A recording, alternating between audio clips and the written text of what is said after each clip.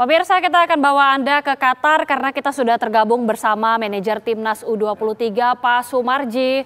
Pak Marji, apa kabar Pak? Ya Alhamdulillah baik.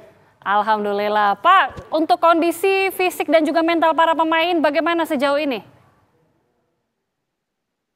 Alhamdulillah ini kondisi fisik maupun mental para pemain semuanya dalam kondisi yang sangat baik ya hmm. sangat baik alhamdulillah uh, para pemain semuanya termotivasi pertandingan uh, sore hari ini malam hari ini adalah pertandingan yang betul-betul akan diperjuangkan dengan segala kemampuan yang dimiliki all out sehingga kita sama-sama menginginkan tidak ingin ada tidak ingin berangkat playoff artinya pertandingan ini betul-betul akan kita perjuang, diperjuangkan oleh anak-anak sampai dengan titik darah penghabisan. Artinya segala sesuatu akan dilakukan demi uh, memperoleh tiket uh, play, play, uh, demi memperoleh tiket uh, Olimpik di juara tiga.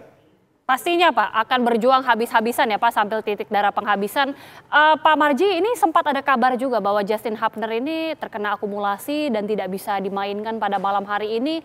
Uh, fakta sebenarnya bagaimana ini Pak? Oh, enggak, enggak, enggak. Semuanya pemutihan ya, sudah pemutihan kecuali Rizky Ridho. Hari ini Justin akan jadi kapten tim ya. Oke. Okay. Mudah-mudahan dia lebih percaya diri, lebih baik dan uh, bisa membawa aura positif uh, di tim. Amin, amin. Berarti Justin akan memegang ban kapten pada malam hari ini ya Pak ya. Uh, berkaitan juga yeah, Pak yeah, Marji, yeah. ini mengenai wasit VAR kontroversial, ini yang kemarin memimpin saat lawan Uzbekistan Pak Marji kembali bertugas pada malam hari ini. Ini kondisi pendapat tim ini bagaimana, Pak?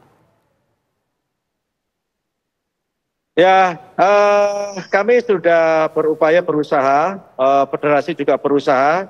Ya, yang pertama kita akan dari kemarin kita sudah lakukan protes berkaitan dengan kepemimpinan wasit uh, asal Thailand ini, uh, khususnya VAR asal Thailand ini.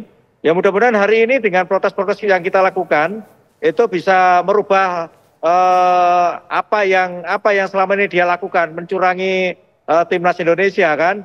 Uh, mudah-mudahan dengan kita protes terus uh, dari uh, para supporter terus uh, medsos yang ada di negara kita juga mempertanyakan itu kecurangan itu. Mudah-mudahan uh, inilah dia tidak berpikir negatif lah terhadap ini tidak tidak merugikan timnas kita. Amin, kita tentunya mengharapkan demikian. Tapi kalau dari tim sendiri bagaimana Pak sejauh ya. ini? Tidak, tidak, tidak terpengaruh, tidak terpengaruh okay. sama sekali dan itu sudah ditekankan berulang kali. Oke. Uh, Pak Sumarji ini mungkin juga bisa bercerita ya Pak, bagaimana sih ini kebijakan pembatasan uh, interaksi dari fans ini dengan para pemain Pak kalau untuk di sana? Ya, jadi Eh, awal awal memang waktu uh, bapak penyisian memang banyak fans ya yang datang. Tapi selalu saya sampaikan agar supaya para fans ini tidak apa namanya uh, mendekati para pemain itu terlalu dekat minta minta tanda tangan terus salaman foto dan sebagainya. Sehingga itu itu selalu saya lakukan dan saya selalu jaga. Tetapi uh, juga masih juga ada yang namanya fans mencari-cari eh, apa namanya waktu sehingga mendekati. Tapi alhamdulillah peran serta dari kedutaan besar sini Qatar eh, itu menyampaikan agar supaya fans tidak mendekat ke para pemain sehingga hmm. sudah dua tiga game ini kondisinya tidak ada lagi fans-fans yang mendekat ke ini ke okay. para pemain. Oke. Okay. Uh, Pak Marji, ini kan kurang lebih tidak sampai satu jam lagi menjelang kick off. Ini posisi pemain, ya. aktivitas ini apakah sudah berada di stadion seluruhnya? Yang dilakukan aktivitasnya saat ini apa Pak? Sudah, sudah, sudah, sudah.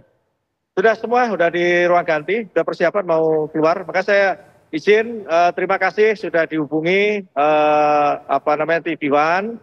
Uh, apa namanya, saya mohon diri, minta doa, mudah-mudahan Eh, para pemain diberikan kemudahan, kelancaran, dan kesuksesan sehingga Amin. kita bisa membawa pulang Amin. juara tiga.